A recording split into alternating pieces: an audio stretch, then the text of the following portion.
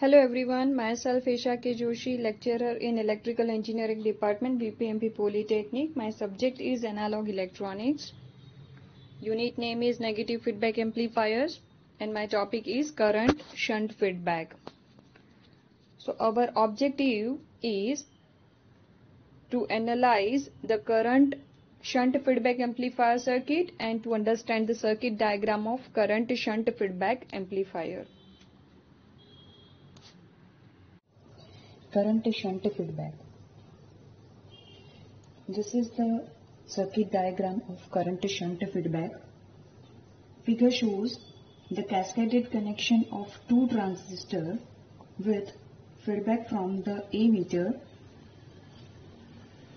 of second transistor to the base of first one through the resistor RF.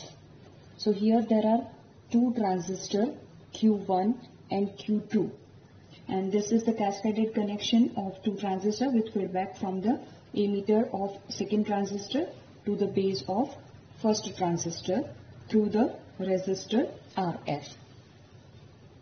By shorting the output voltage but the feedback voltage is not zero. But if the output current IO is set to 0 by open circuiting the output loop, then feedback will be equal to 0. Hence this is the current sampling and as the feedback signal is in parallel or shunt with the output, this is the current shunt feedback. So this is about circuit diagram of current shunt feedback. Now let us analyze current shunt feedback so to analyze current shunt feedback,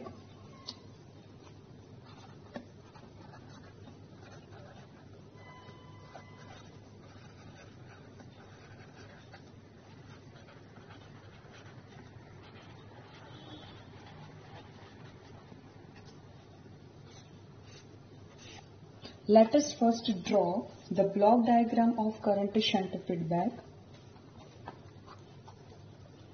So here this is amplifier circuit A is equal to IO upon I in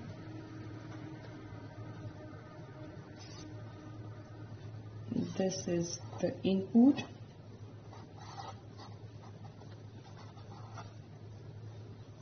Here is the output. This is the feedback circuit IF upon I out. So here in this circuit the feedback network picks up a part of output current and produces a feedback voltage in parallel with the input signal voltage. And since the feedback network is in shunt with the amplifier on input side, the input impedance is reduced and feedback uh, with the feedback whereas output impedance increase because the feedback network is in series with the output. So here in output it is in series and in input the feedback signal is in shunt. So here we will connect it in shunt. So this is in shunt and output side it is in series. So this is our output.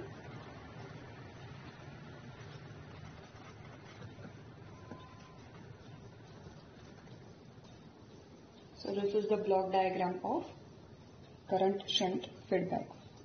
So as the feedback signal is in shunt in the input side the input impedance is reduced whereas the output impedance is increased because feedback network is in series with the output now, let us analyze this input and output impedance.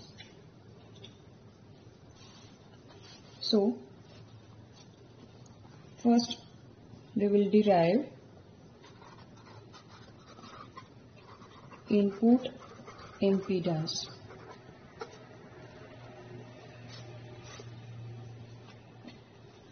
So we have IS is equal to II plus IF.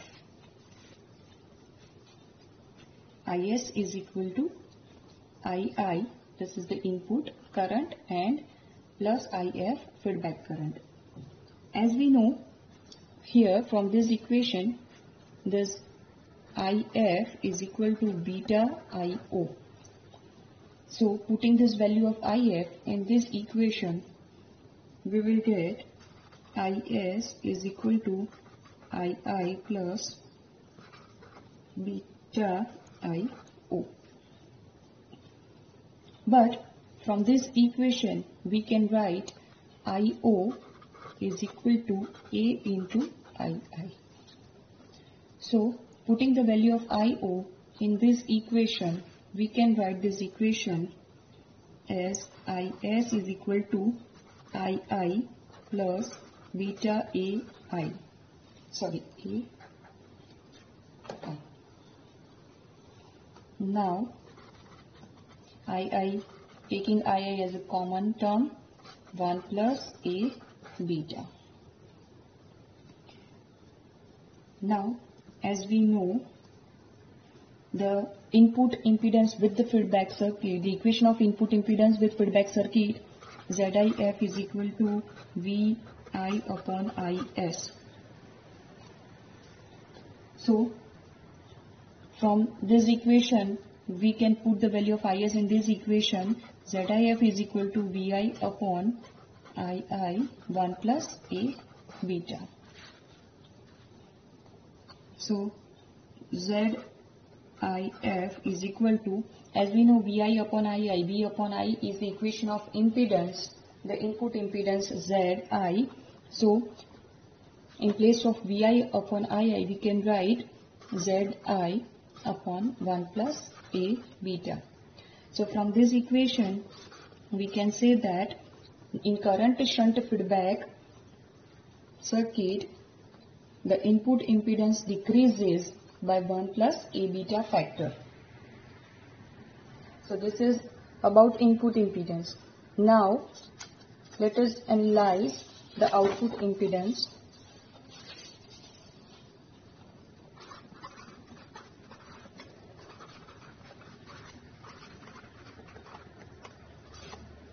Output impedance. So to calculate output impedance, we have I is equal to IO minus AVI. Sorry. IO plus AVI. But we have VI is equal to minus VF. So putting the value of VI in this equation, I is equal to IO minus AVF. But we know that the value of VF, we have the value of VF is equal to beta VO and I is equal to VO upon ZO.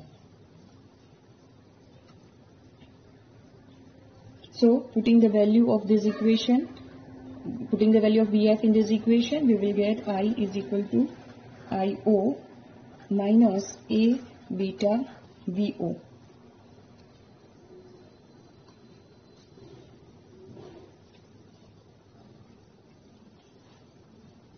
Okay, so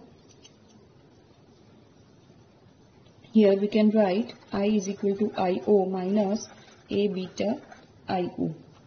In this equation, it is current sampling, so we can write I is equal to IO minus A beta IO. So therefore, I is equal to putting the value of IO, this equation will become VO upon ZO minus a beta i. Therefore, VO upon ZO is equal to, if this term comes this side, then it will become like I plus A beta IO.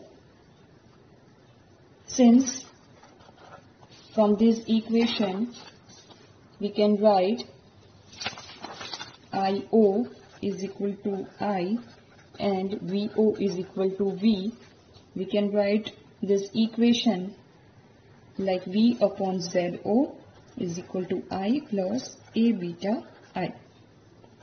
So V upon ZO taking the I term common I 1 plus A beta. So V upon I is equal to ZO 1 plus A beta. And as we know, this is the equation of in, um, output impedance.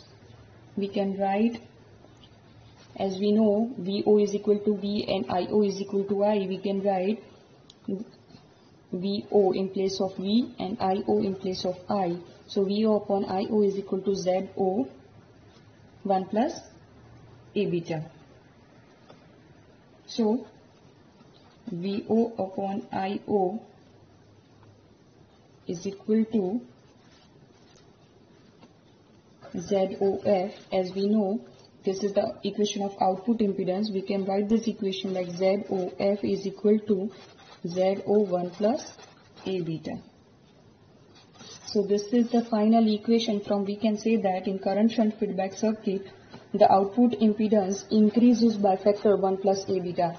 So in case of current shunt feedback circuit the input impedance decreases by 1 plus A beta factor and the output impedance increases by 1 plus A beta factor.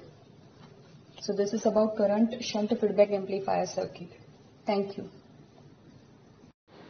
Thank you.